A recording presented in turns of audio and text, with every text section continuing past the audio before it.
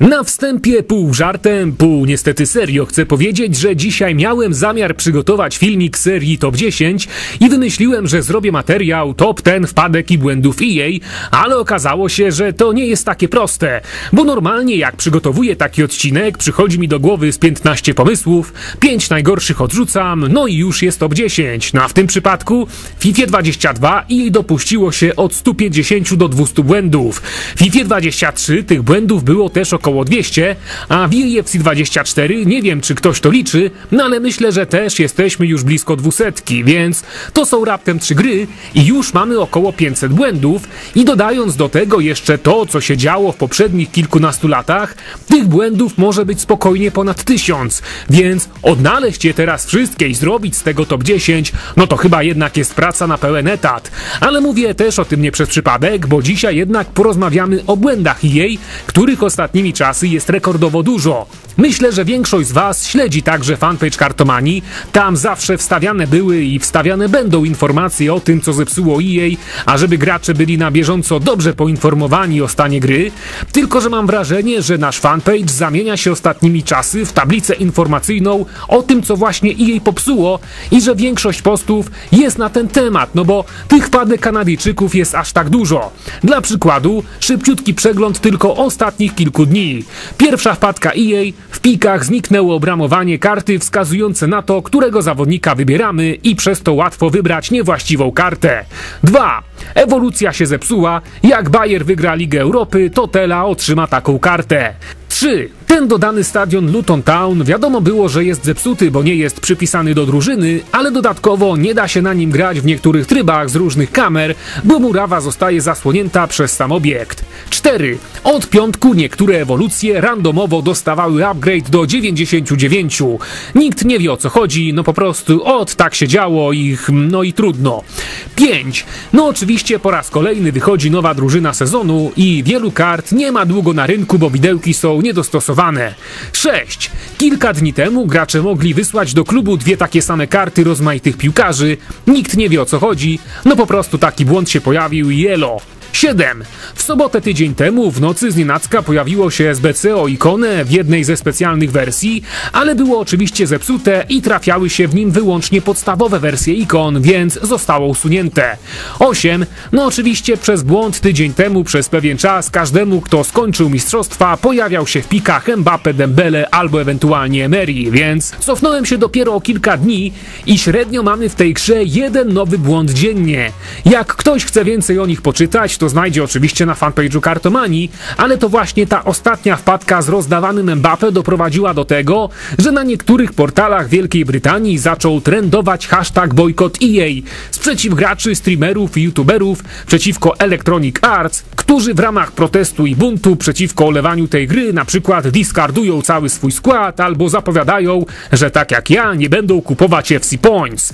Teoretycznie lepsze to niż nic, plusem jest fakt, że mówimy o Wielkiej Brytanii, czyli prawdopodobnie najważniejszym rynku dla EA, tylko że problem w tym, że my to EA dobrze znamy, zwłaszcza ja, bo wiele razy rozmawiałem z rozmaitymi pracownikami tej firmy, parę razy byłem na zamkniętych eventach, pierwszy raz w polskim oddziale EA byłem w ogóle jeszcze przed założeniem kartomanii na przedpremierowych testach FIFA 14 i generalnie widząc po latach obserwacji jak ta firma funkcjonuje, nie wierzę zbytnio, że ich jakiś bojkot w ogóle cokolwiek obchodzi.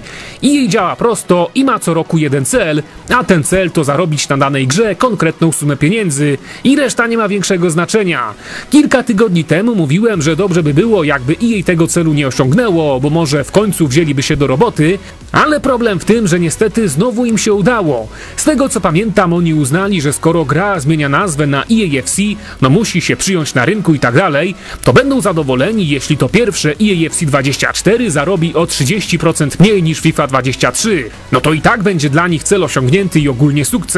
A tymczasem, głównie dzięki mikrotransakcjom okazuje się, że ten cel nie tylko został osiągnięty, ale z tego co wiadomo, EAFC 24 już teraz zarobiło więcej niż FIFA 23, więc z mojego doświadczenia wynika, że to zamyka temat. My wszyscy możemy teraz przestać grać w FC 24, diskardować składy i od tego momentu w tej grze może przebywać zero graczy, a dla EA to nie będzie miało większego znaczenia, bo cel został osiągnięty, Ta gra zarobiła już tyle miliardów dolarów, ile oni chcieli i co się będzie z tą grą dalej działo, to już totalnie obojętne. Teraz trzeba przygotować się już do EAFC 25 i tak rozpromować ten tytuł, żeby znowu osiągnąć swój cel zarobkowy. Na to, że tam paru youtuberków, streamerków i influencerków sobie popłacze, że gra nie działa, no to co? No jajco!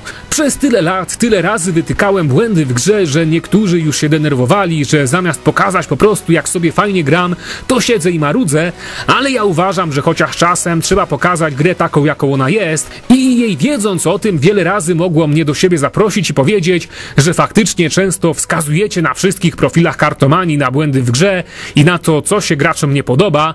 No Dominiku, ty często z graczami rozmawiasz, wiesz co ich trapi, chcielibyśmy, żebyś tam powiedział, co twoim zdaniem i zdaniem twoich widzów należy poprawić w tej produkcji, a my przekażemy te informacje do centrali. No ale takich zaproszeń przez te wszystkie lata otrzymałem łącznie oszałamiającą liczbę zero, a to wytykanie błędów doprowadziło wyłącznie do tego, że VA niezbyt lubi się mnie, jak i całą kartomanię, więc no naprawdę w obecnych realiach szanse na to, że EA poruszy się przez jakiś bojkot w sieci są naprawdę nikłe. Tym bardziej, że oni od lat obrali strategię olewania wszelkiej krytyki i realizowania wyłącznie celu, czyli zarabiania określonej sumy pieniędzy. O tej firmie od dawna krążą memy w sieci, mówi się wiele negatywnych rzeczy, a ona i tak zbytnio nic z tym nie robi. No i oczywiście mój ulubiony przykład, znowu świetna okazja, żeby go wyciągnąć. Dwa lata temu doszło prawdopodobnie do przestępstwa, gdzie jeden z pracowników sprzedawał karty na lewo za prawdziwe pieniądze i jej wydało jeden komunikat, że zbadają sprawę i poinformują graczy, jak się ona zakończy. No i na tym się zakończyło. Żadnej innej informacji nie było, ani wyjaśnienia, ani przeprosin, ani czegokolwiek. Pojawił się niewygodny temat, więc jedyna reakcja to ominięcie go szerokim łukiem i robienie dalej swojego. Natomiast jeśli chodzi o przyszłość, to czy bojkot jakoś wpłynie na EAFC 25? No nie wydaje mi się. Nawet jak część graczy, tak jak co roku teraz rzuci grę, dochody z kolejnej odsłony mają szansę znowu być rekordowe, bo po pierwsze, codziennie do gry dołączają nowi gracze, którzy są młodzi, zaczęli interesować się piłką nożną i to zainteresowanie chcą wydłużyć poprzez wirtualne granie i oni są już przyzwyczajeni do tego, że ta gra także działa, nie wiedzą jak funkcjonowała chociażby do FIFA 15, nie mają z czym porównać obrazu z teraźniejszości. No na nich te wszystkie błędy nie robią nawet większego wrażenia, więc grają i zasilają konto EA. I druga rzecz, społeczność graczy cały czas się starzeje. Ludzie, którzy podczas premiery Ultimate Team byli młodzi i pisali na przykład maturę, teraz dalej chcą okazjonalnie grać dla zabawy, ale nie mają tyle czasu, by robić zadania, wszystkie SBC i tak dalej, a że są już po 30 i sami zarabiają, czasem nawet bardzo dobrze, to część tych dochodów na przykład co miesiąc postanawiają przeznaczyć na FC Points, by mieć fajny skład i grać chociaż samą ligę weekendową.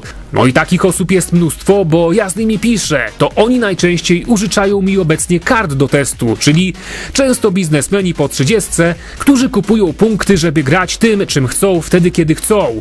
Postawa absolutnie zrozumiała, logiczna i wytłumaczalna, tylko że takich osób właśnie najpewniej będzie coraz więcej, bo z roku na rok dzieciaki przekształcają się w dorosłych, samodzielnych ludzi, którzy wciąż chcą grać. I w związku z tym naprawdę niewiele stoi na przeszkodzie jej, by podtrzymać swoje dochody i realizować zarobkowe cele, więc chociaż widać, że to częściowo jest na pokaz, to dobrze, że coś tam na zachodzie rusza, ale czy to coś zmieni, czy nawet jeśli realnie teraz wszyscy przestalibyśmy grać, to czy to coś wielkiego by zmieniło? No wątpię. Teraz gra się wyciszy, bo już i tak ledwo działa, więc sporo ludzi na wakacje ją rzuci, odpocznie sobie, potem zacznie się nowy sezon piłkarski, zapowiedzi FC25, w graczach skoczy ciśnienie, tęsknota zagrał online, więc prawie wszyscy znowu ją kupią i od nowa przejdziemy te same problemy, tylko w tytule z nową nazwą. Więc jeśli grać, to myślę, że najlepiej przyjąć taką postawę jak ja od jakiegoś czasu, nie kupować punktów i grać po prostu for fun, no bo nawet już mistrzostw nie można traktować na poważnie, skoro w jednym turnieju można zaliczyć kilka disconnectów z porażkami, no a przetestować sobie po prostu dla zabawy jakichś piłkarzy, których się lubi, jak u mnie na przykład Jarzinho czy Ronaldo, przywrócić do życia te legendy na wirtualnej murawie, po prostu się nimi pobawić i postrzelać piękne bramki, no bo, bo to jest pewnie taka ostatnia rzecz, która nie tylko mnie, ale i innych graczy trzyma przy tej produkcji, w której już, no chyba nikogo nic nie zdziwi. Jak się dowiedziałem, że ten Tocem Mbappe każdemu trafia się w pikach, no to po mnie to po prostu spłynęło. Kolejny błąd, dzień jak co dzień i tyle. Po tej wpadce z Totym Messim to już nie robiło na mnie większego wrażenia. Nawet jakbym jutro wszedł do gry i by się okazało, że wszystkie konta zostały zresetowane, każdy gracz zaczyna od nowa, no to bym nie był zbytnio zaskoczony, więc bojkot, zwłaszcza Wielkiej Brytanii, na tym głównym rynku nie zaszkodzi i warto trzymać za niego kciuki, ale po tylu latach trzeba być raczej realistami. Trudno tu o wymyślenie jakiegoś ruchu, który sprawiłby, że EA zainteresowałyby się własną grą i zaczęłyby ją naprawiać. Prawdopodobnie jedyne co może ich do tego zmusić to nieosiągnięcie celu finansowego i spadek zysków, no ale jak wspomniałem, na to się naprawdę nie zanosi. A tak na zakończenie trzeba jednak przyznać, że działanie EA budzi podziw. Odwalać takie rzeczy, z roku na rok coraz bardziej wyniszczać grę nowymi błędami, a mimo to cały czas coraz więcej zarabiać, no to jest jednak prawdziwa sztuka, bez wątpienia godna pozazdroszczenia. Na dziś to tyle. Do zobaczenia wkrótce. Cześć!